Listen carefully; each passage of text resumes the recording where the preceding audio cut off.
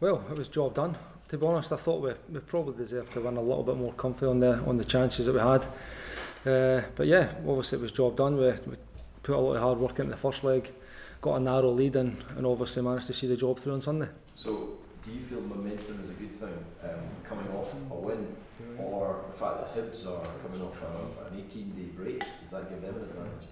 Well, uh, listen, you can look at either way. Personally, I think I would have much rather have had a few competitive games in that that spell. It's uh, it's a long time to go without a game, but again, at the end of a long hard season, it might it might bring a freshness to them. But uh, for us, it was all, we can only do what we've been asked to do, which was go and beat Queen of the South over the two legs, which I, I think we've done and and deservedly so. And uh, obviously, it's got us in going into this game in a in a confident mood.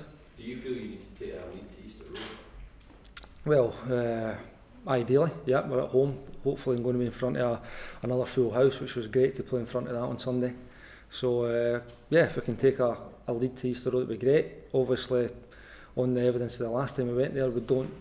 We know we can go there and win. I mean, we went one two 0 that day, and again, I, th I felt we won well. So, uh, a lead would be great, but it's obviously not critical that we do get the one.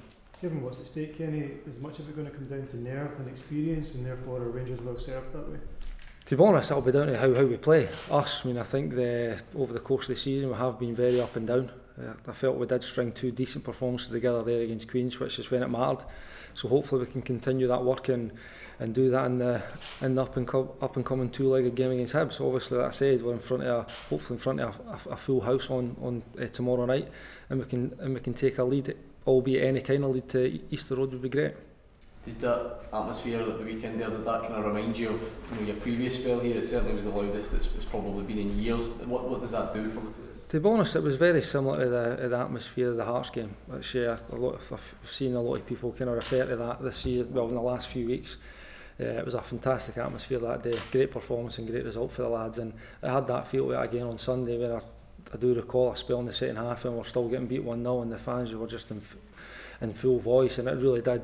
I think I actually scored right after the, the bit I remember anyway, when they, they seemed to come to life, and within a couple of minutes we were back in the game. And again, I, I felt on the balance of play on Sunday, we did deserve that. But the fans were great, important again that they get right behind us tomorrow night because it can it can kick us on to that next level. We obviously speculated about it at the time, but in hindsight now in this situation, how important was the win? At Easter Road psychologically? I mean, can you imagine going into this having not beat Hibs at all this season? To be honest, I took heart for the game before that as well. I felt the game we got beat 2 0 at Easter Road, uh, sorry, at, at Ibrox. Uh, I thought we played very well that night, and uh, I don't think we deserved to get beat on the night. So I'd actually took great heart for that.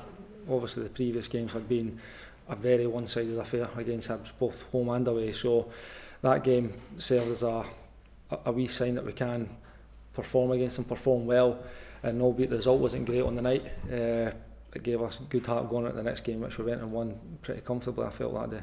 But did that win perhaps signal the change in momentum in the season? Listen, that was a we were drew them one obviously over the, the results against them and the league hadn't been great uh, going into that game so it was uh, about time we put a performance on that day and it's, I thought we'd done very well.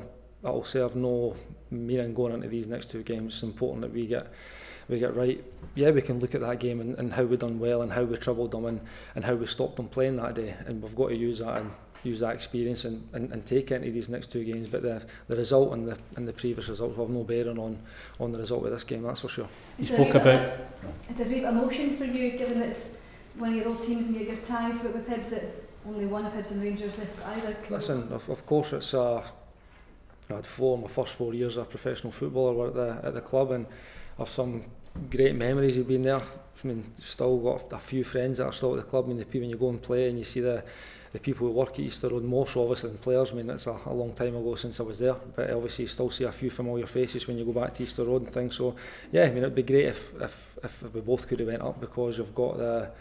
I think the league needs Hearts, Hibs and Rangers back in it, but uh, obviously that can't happen this year. So hopefully it's going to be us that go up this year. Said it's not critical to take a lead into the second leg. Is it important that the fans don't get anxious then during the game? Listen, I mean the fans, the fans come, and I think on history of Rangers is, you're expected to win every game, and as players we know that. But uh, in these games, are a different. They're a different entity when you're just playing a one-off league game where it's, it's probably critical that you do win because every game you need to win. But we'll be going to win. I mean, make make no mistake about it, we're expected to win, we, we, we want to win, but in the the bigger picture it isn't critical because you know, we know obviously off the last game we can go there and win and win well. So as much as we are going for the win and we, we want to win and we, and we believe we can win, it isn't critical, which is the point I'm trying to make is we can still go to Easter Road and win 2-0, which is what we've done the last game. You take any heart from last season, Hibs last season, season who managed to, No. Nah, listen, no really. No really. I mean, it's a different manager, a different group of players. Albeit, listen, a lot of them are the same, but it's a, I think they're a different team this year under under Alan Stubbs. Done a great job, and it'll be a very tough game for us. What happened last year again, I'll have no reflection on what will happen in the next couple of games. Kenny, you had some mixed experiences when you were down south in the playoffs. I believe when you were at Wolves, you scored against a Sheffield United team that had a Stuart McCall. Did, I'm sure he actually just reminded me that a couple of weeks ago. I think he came on. He says he came on in the game, which I, I can't actually remember. But uh, yeah, we managed to put one over on him that day. Do you think you owe him something now in the playoffs? Listen, we need to. I mean, we're all the club, but I mean the club is important. We get back to the back to the Premiership, which we'll say is all along as our goal. Uh, everything else will sort of sell out after that. But we need to make sure that we put the performances in and get the results that's required to get us back to where we belong. What do you remember about those experiences and, and the nerves and everything that goes on with, with playoffs?